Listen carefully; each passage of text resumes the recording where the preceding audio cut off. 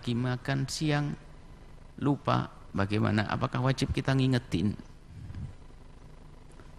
Ah, wajib ngingetin enggak karena tidak ada hubungannya dengan kemaksiatan urusan dengan orang maka kita tidak wajib mengingatkan dalam madhab kita. Nggak wajib kita mengingatkan biarin sampai kenyang. Tapi yang kita yang nonton yang ngenes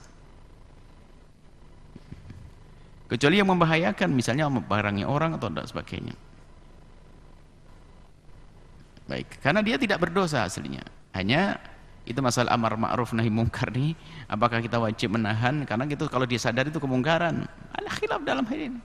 Kalau anak kecil minum glek-glek biarin deh. Ah, puasa ya? Oh sudah masuk glek-glek tapi kalau lagi makan cireng tahan dulu nanti tambah keselak dia. Sudah diingatkan puasa kau? Wah bingung minum tenggorokannya batuk-batuk nanti.